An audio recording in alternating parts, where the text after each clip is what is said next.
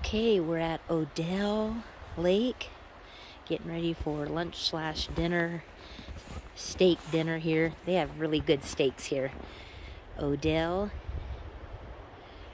We've been out snowmobiling all day. Lots of powder. Getting a lot of practice in today.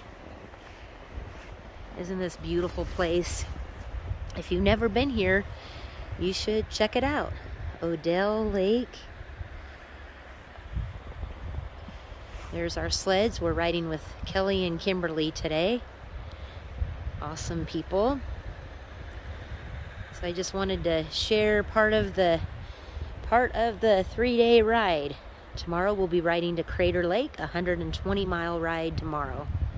Hope everybody's having a great New Year's. I wish you all a happy New Year. And thank you for being a part of my Facebook page.